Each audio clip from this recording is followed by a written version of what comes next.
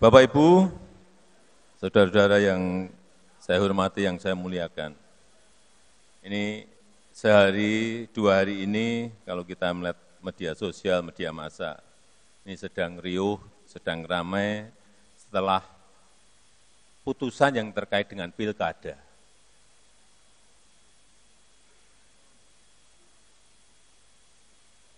Setelah saya lihat di media sosial, ini salah satu yang ramai tetap soal si tukang kayu.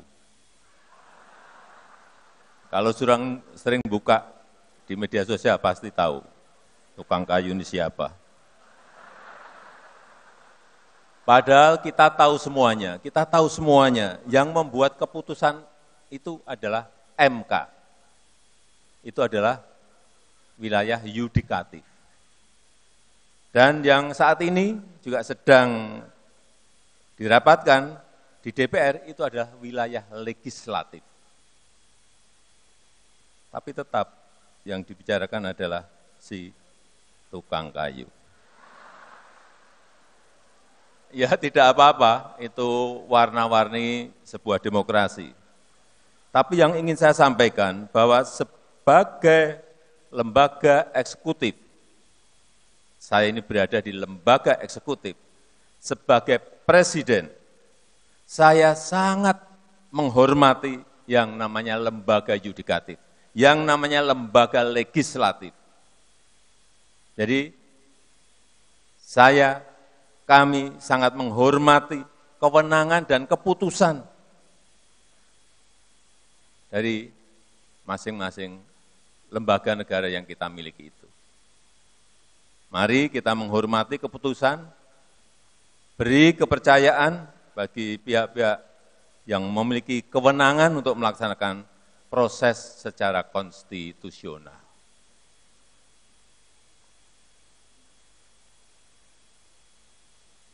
Bapak Ibu yang saya hormati, sekali lagi mungkin ada yang bertanya kepada saya kenapa malam hari ini saya memakai baju kuning.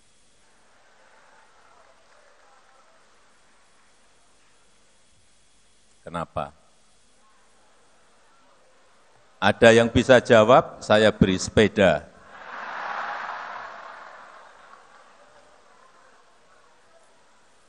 Ya, baju itu menyesuaikan. Baju yang saya kenakan ini untuk menghormati, untuk menghargai yang memiliki acara, yaitu Partai Golkar. Jangan ke mana-mana dulu. Menghargai hajatan besar Partai Golkar yang malam hari ini telah secara aklamasi sudah memiliki ketua umum yang baru, yaitu Bapak Bahlil Lahadalia, yang sekarang menjabat di kabinet sebagai Menteri ESDM. Saya yakin kondisi yang baik ini, yang terjaga ini dalam proses di Munas ini tidak lepas dari peran Ketua Umum yang lama, yaitu Bapak Airlangga Hartarto.